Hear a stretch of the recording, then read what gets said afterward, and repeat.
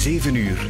VTM Nieuws. Danny Verstraten. Goedenavond. Het parket van Antwerpen is een moordonderzoek gestart naar een vermiste jonge vrouw uit Schilde. Julie van Espen, 23 jaar en studente, verdween gisteravond toen ze met de fiets naar Antwerpen reed. Ze had er afgesproken met vriendinnen, maar is daar nooit aangekomen. In de loop van de namiddag zijn er spullen van haar teruggevonden die wijzen op een gewelddadig overlijden. Agenten zoeken in groepjes en met de handen door het hoge struikgewas langs de brug aan het Sportpaleis. De politie voert een georganiseerde zoekactie uit naar Julie van Espen. Ze zetten speurhonden en een helikopter in.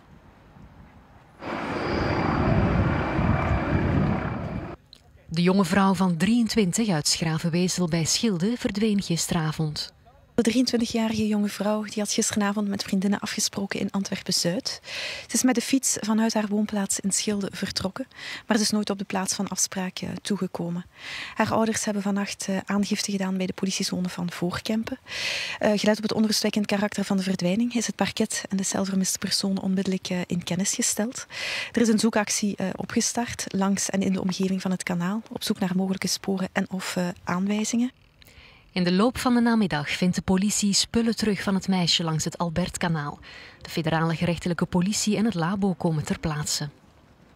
Het parket heeft de onderzoeksrechter gevorderd uh, voor moord. Ik kan bevestigen dat er aanwijzingen zijn die gaan in de richting van een gewelddadig uh, overlijden. Op het traject uh, dat het meisje mogelijk heeft afgelegd zijn bepaalde zaken teruggevonden. Om welke aanwijzingen gaat het dan precies? Want er zou, zouden kledingstukken gevonden zijn met bloedplekken op een fietsmandje. Er is ook sprake van een reispas. Wel in het belang van het goed verloop van het onderzoek kan ik hierover geen verdere details geven. De celvermiste personen coördineert de zoekactie. Op het Albertkanaal zoekt de scheepvaartpolitie met een sonar. Het is langs dit fietspad dat Julie van Espen naar Antwerpen fietste, maar waar ze nooit geraakt is. Romina van Kamp aan het Albertkanaal daar in Antwerpen. Wat gebeurt er daar nu nog? Wel, daarnet, Danny, is hier een duikteam van de brandweer eh, in het water gegaan en zijn duikers hier in het Albertkanaal uh, beginnen zoeken. Ze hadden een uh, deeltje hier van het Albertkanaal um, afgezet met boeien om in een speciaal afgezet gebied hier te zoeken. Um, maar ze hebben hier voorlopig niets gevonden. De duikers zijn net weer uit het water gehaald. Maar de zoekactie wordt wel verder uitgebreid. Hè, want in de loop van de avond werd dat duikteam van de brandweer um, opgevorderd. en ze blijven voortzoeken naar het lichaam van de vermiste vrouw, want dat is uh, nog altijd niet teruggevonden. De familie en de vrienden van Julie die hebben in de loop van de dag ook zelf zoekacties gehouden? Ja, absoluut. Zij hebben niet gewacht tot er een officieel opsporingsbericht kwam vanuit uh, Child Focus. Ze zijn meteen zelf flyers en posters beginnen drukken met een foto van Julie. En zijn ja, beginnen zoeken hier uh, in de buurt van Merksem. Hebben ze flyers in brievenbussen gestoken. Zijn ze langs handelaars en horecazaken gegaan um, om te vragen ja, of ze Julie van Espen gezien hadden. De familie wist op dat moment natuurlijk ook nog van niets. Um, en pas in de loop van de namiddag, toen ja, het nieuws eigenlijk alleen maar verslechterde, hebben de familie opnieuw gecontacteerd en wilden ze begrijpelijk uiteraard uh, liever niet meer uh, reageren. Maar we hebben toch uh, volgende reportage van hen. De ouders van Julie hangen vanochtend zelf flyers op in de buurt van het Sportpaleis. Het is daar dat het laatste signaal van de gsm van hun dochter is opgevangen. Mijn dochter die is sinds gisteravond vermist half zeven. En uh, op basis van wat ze nog hebben kunnen tracen van, uh, ik zal maar zeggen, Telenet, dus van de gsm, uh, is tussen het Sportpaleis en eigenlijk hier uh, Karettenstraat, allee, die omgeving.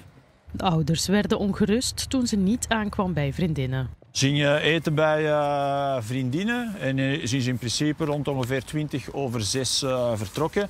En normaal gezien zou ze dat wel aankomen, denk tegen een uur of zeven en tegen een uur of negen hebben we dan een uh, berichtje gekregen van haar vriendin om te zeggen dat ze niet was toegekomen. De zus en de vriend van Julie verspreiden ondertussen een oproep op Facebook. Ze roepen iedereen op om te helpen zoeken. Het bericht is al snel 150.000 keer gedeeld. Een half uur nadat Julie gisteravond thuis vertrok, heeft haar vriend nog een bericht gestuurd. Ze gaat zo vaak met, met de fiets naar de stad, maar ja, het kan altijd gebeuren. Hè. Je blijft gewoon gaan dat ik ze vind, hopelijk. We hebben samen met Julie gestudeerd uh, en in een studentenvereniging gezeten. En daarom hebben wij ook een aantal affiches afgedrukt en hier uh, in de omliggende straten omhoog hangen vandaag. Al snel hangt de hele buurt vol met flyers. Elk uur dat het uh, later wordt, zeg maar zeggen, is dat een stukje minder. Maar ja, we proberen ook volop bezig te zijn, want anders als we alleen maar moeten thuis zitten, dat gaat ons ook uh, niet helpen. En zal ze zeker ook niet terugbrengen. Ja, Romina, het is nu een moordonderzoek geworden. Is er al een verdachte in zicht?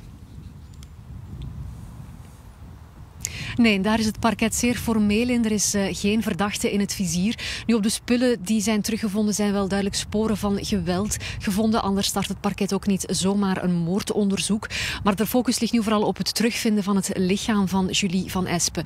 Nu, toch ook nog even meegeven. Het meisje studeerde aan de Universiteit van Antwerpen. En morgen voorziet de universiteit ook een opvangmoment voor de medestudenten van Julie van Espen. Studiebegeleiders zijn ingelicht en studenten die nood hebben aan een persoonlijk gesprek kunnen daarvoor morgen terecht eh, op de universiteit.